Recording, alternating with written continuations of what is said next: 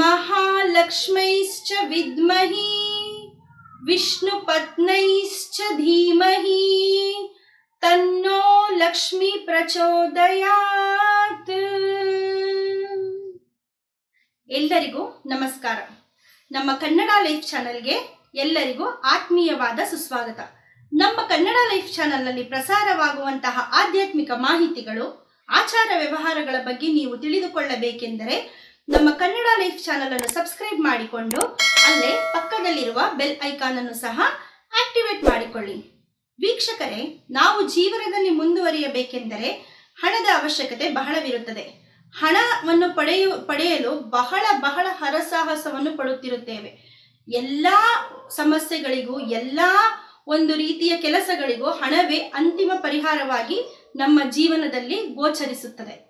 ಈ ಹಣವು ನಮಗೆ ಆಕಸ್ಮಿಕವಾಗಿ ದೊರೆತರೆ ನಮಗೆ ಎಷ್ಟು ಒಳ್ಳೆಯದು ಎಂದು ಒಂದೊಮ್ಮೊಮ್ಮೆ ಯೋಚಿಸುತ್ತೇವೆ. ಅಂದರೆ ಲಾಟರಿಯ ಮೂಲಕನೇ ಆಗಿರಲಿ, ಯಾವುದಾದರೂ ಹಳೆಯ ನಿಮ್ಮ ಆಸ್ತಿಗಳು ನಿಮಗೆ ಕೈ, ಕೈಗೆ ಬಂದರೆ, ಈ ರೀತಿ ಯಾವುದಾದರೂ ಒಂದು ಆಕಸ್ಮಿಕ ವಿಧವಾಗಿ ನಿಮಗೆ ಹಣ ಬಂದರೆ ಎಷ್ಟು ಒಳ್ಳೆಯದು ಅಂತ ಪ್ರತಿಯೊಬ್ಬರಿಗೂ ಅನಿಸುತ್ತಾ ಇರುತ್ತದೆ. ಈ ರೀತಿ ಅನಿಸುವುದು ಎಲ್ಲ ಮನುಷ್ಯರಿಗೂ ಸರ್ವೇ ಸಾಮಾನ್ಯ.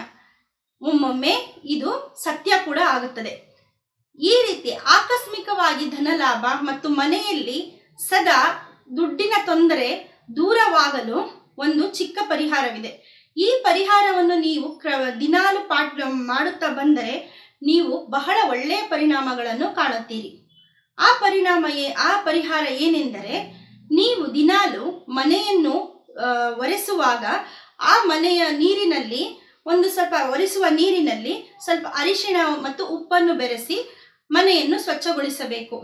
ಮತ್ತು ಇನ್ನ ಒಂದು ಪರಿಹಾರವೇನೆಂದರೆ, ನೀವು ಪೂಜೆ ಮಾಡಿದ ನಂತರ ನಿಮ್ಮ ಮನೆಗೆ ಒಂದು ಸಣ್ಣ ಲೋಟದಲ್ಲಿ ಸ್ವಲ್ಪ ಪರಿಶುದ್ಧವಾದ ನೀರನ್ನು ತೆಗೆದುಕೊಂಡು ಅದಕ್ಕೆ ಅರಿಶಿನವನ್ನು ಬೆರೆಸಿ ನಿಮ್ಮ ಮನೆಯ ಮೂಲೆ ಮೂಲೆಗೂ ಪ್ರೋಕ್ಷಿಸಬೇಕು.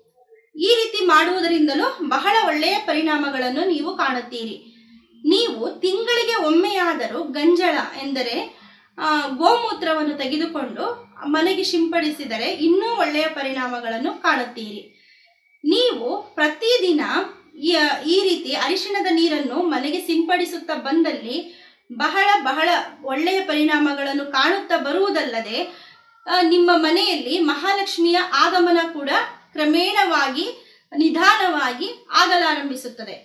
ಇನ್ನೂ ಒಂದು ಪರಿಹಾರವೇನೆಂದರೆ, ಒಂದು ತಾಮ್ರದ ಚೊಂಬಿನಲ್ಲಿ ನೀರನ್ನು, ಪರಿಶುದ್ಧವಾದ ನೀರನ್ನು ತೆಗೆದುಕೊಂಡು ಅದಕ್ಕೆ ಸ್ವಲ್ಪ ಅರಿಶಿನವನ್ನು ಬೆರೆಸಿ ಒಂದು ಮಂದಾರದ ಹೂ ಎಂದರೆ ದಾಸವಾಳದ ಹೂ, ಕೆಂಪು ದಾಸವಾಳ ಹೂವನ್ನು ಆ ಒಂದು ತಾಮ್ರದ ಚೊಂಬಿನಲ್ಲಿ ಇಟ್ಟು ನೀವು ಆ ಚೊಂಬಿನ ನೀರನ್ನು ನಿಮ್ಮ ಮನೆಯ ಮುಖ್ಯ ದ್ವಾರದ ಹಿಂಬದಿಯಲ್ಲಿ ಇಡ, ಇರಿಸಬೇಕು.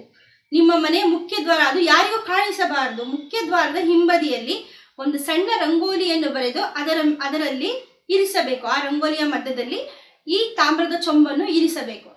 ಇರಿಸಿ ದಿನಾಲು ಇದಕ್ಕೆ ಅಗರಬತ್ತಿಯ ಧೂಪವನ್ನು ತೋರಿಸುತ್ತಾ ಬರಬೇಕು. ನೀವು ನಿಮ್ಮ ಪೂಜಾ ಮಂದಿರದಲ್ಲಿ ಯಾವ ರೀತಿ ಅಗರಬತ್ತಿಯ ಧೂಪವನ್ನು ತೋರಿಸುತ್ತೀರೋ ಅದೇ ರೀತಿ ಆ ತಾಮ್ರದ ಚೊಂಬಿಗೂ ಅಗರಬತ್ತಿಯ ಧೂಪವನ್ನು ತೋರಿಸಬೇಕು. ಇದು ಏನು ಮಾಡುತ್ತದೆ ಎಂದರೆ ನಿಮ್ಮ ಮನೆಯಲ್ಲಿರುವ ನಕಾರಾತ್ಮಕ ಶಕ್ತಿಗಳನ್ನೆಲ್ಲ ಈ ತಾಮ್ರದ ಚೊಂಬು ಹೀರಿಕೊಂಡು ಅದರಲ್ಲಿರುವ ನೀರು ಮತ್ತು ಆ ದಾಸವಾಳದ ಹೂ ಹೀರಿಕೊಳ್ಳುತ್ತಾ ಬಂದು ನಿಮ್ಮ ಮನೆಯನ್ನು ಅಭಿವೃದ್ಧಿಯ ಕಡೆಗೆ ಕೊಂಡೊಯ್ಯುತ್ತದೆ. ಈ ನೀರನ್ನು ನೀವು ಬುಧವಾರದ ದಿನ ಹಾಗೂ ಬುಧವಾರದ ದಿನ ಹಾಗೂ ಶನಿವಾರದ ದಿನದಂದು ಈ ನೀರನ್ನು ತೆಗೆಯಬೇಕು. ಈಗ ಬುಧವಾರ ತೆಗೆದರೆ ನೀವು ಗುರುವಾರ ಈ ಚೊಂಬನ್ನು ಮತ್ತೆ ಪುನಃ ಇರಿಸಬೇಕು. ನೀವು ಶನಿವಾರ ತೆಗೆದರೆ ಭಾನುವಾರ ಇರಿಸಬೇಕು. ನಿಮಗೆ ಯಾವ ದಿನ ಅನುಕೂಲವಾಗುತ್ತದೆ ನೋಡಿ, ಇರಿಸಿ. ನಿಮಗೆ ಎಲ್ಲ ದಿನಗಳಲ್ಲೂ ಯಾವ ದಿನ ಆದರೂ ಪರವಾಗಿಲ್ಲ, ಇರಿಸಬಹುದು. ಈ ರೀತಿ ಮಾಡುತ್ತಾ ಬಂದಲ್ಲಿ ನಿಮ್ಮ ಮನೆಯಲ್ಲಿ ಅದೃಷ್ಟದ ಆಗಮನವಾಗುತ್ತದೆ. ಇನ್ನೂ ಈ ರೀತಿಯಾದಂತಹ ಹತ್ತು ಹಲವಾರು ಆಧ್ಯಾತ್ಮಿಕ ಮಾಹಿತಿಗಳ ಬಗ್ಗೆ ನೀವು ತಿಳಿದುಕೊಳ್ಳಬೇಕೆಂದರೆ ನಮ್ಮ ಕನ್ನಡ ಲೈಫ್ ಚಾನಲ್ ಅನ್ನು ಸಬ್ಸ್ಕ್ರೈಬ್ ಮಾಡಿಕೊಂಡು ಅಲ್ಲೇ ಪಕ್ಕದಲ್ಲಿರುವ ಬೆಲ್ ಐಕಾನ್ ಅನ್ನು ಸಹ ಆಕ್ಟಿವೇಟ್ ಮಾಡಿಕೊಳ್ಳಿ. ಸುಖವಾಗಿ ಜೀವಿಸಿ, ಸಂತೋಷದಿಂದಿರಿ. ನಿಮಗೆಲ್ಲರಿಗೂ ಒಳ್ಳೆಯದಾಗಲಿ.